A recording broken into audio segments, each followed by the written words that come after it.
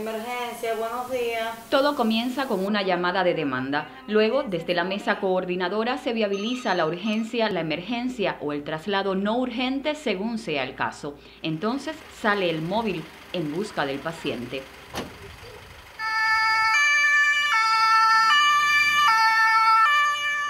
Así es como se activa cada día el Sistema Integrado de Urgencias Médicas de Granma, una prestación asistencial que cuenta con cuatro bases regionales ubicadas en Bayamo, Manzanillo, Iguaní y Niquero y poco más de 430 trabajadores para garantizar desde cualquier distancia de nuestra geografía que el enfermo demandante llegue con vida a la institución hospitalaria.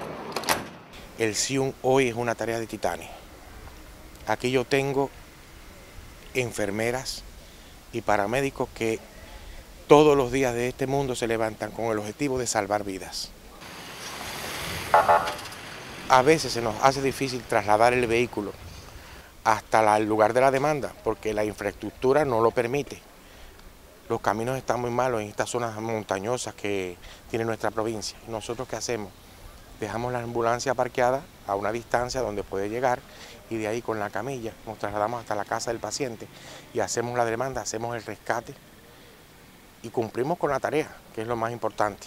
En el sistema integrado de urgencias médicas ahí eh, funciona el departamento de coordinación, que es uno de los departamentos más importantes que tiene la entidad por, eh, por la solución que se le da a los traslados interprovinciales. Eh, como a Santiago de Cuba, a, Holguín, a La Habana, a los institutos de alta resolución, porque aquí carecemos de este, de esta, de este, de este instituto.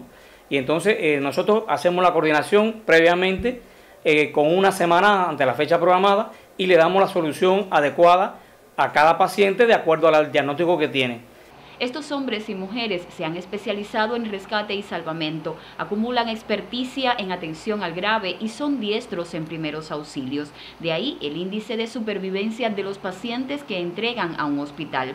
Desde que se fundó este programa de la medicina en 1997, son muchas las experiencias de quienes a diario lo asumen, unas desgarradoras, otras satisfactorias, pero todas teniendo como prioridad la vida. Uno de los accidentes más relevante de aquí, de la provincia, fue el, el, incidente, el impacto del tractobús con el, tren de Manzanillo en la Mambisa.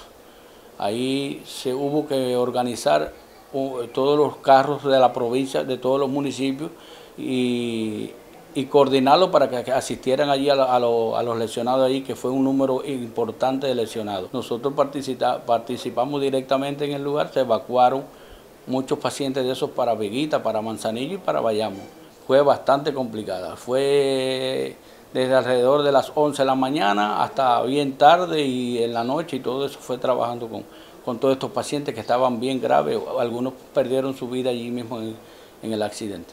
El Sistema Integrado de Urgencias Médicas de Granma garantiza además que nuestro proyecto de país llegue a las naciones. Hoy esta provincia tiene cerca de 30 especialistas del CIUN en escenarios internacionales, engrandeciendo la obra de solidaridad que nos hace mejores seres humanos. Así han construido una historia de 25 años que llevan arraigada en el alma. Para mí siempre ha sido un orgullo ser enfermero. Me gusta trabajar con pacientes graves y ver su recuperación. Eso es un logro. Y trabajar en el SION para mí ha sido lo mejor que me ha pasado, porque he trasladado pacientes graves con peligro para su vida y en el, durante el traslado lo hemos estabilizado y lo hemos entregado a, la, a las instituciones hospitalarias, en el caso de la UCI, en el caso de las terapias, en dependencia de lo que tiene el paciente, vivo y estable. Es mucho, mucho el orgullo que se siente porque lo hacemos pensando siempre en un paciente. El CIUM habla de médicos, paramédicos y licenciados en enfermería que lo han dado todo por el paciente. En Gran Macadiusca León, Sistema Informativo de la Televisión Cubana.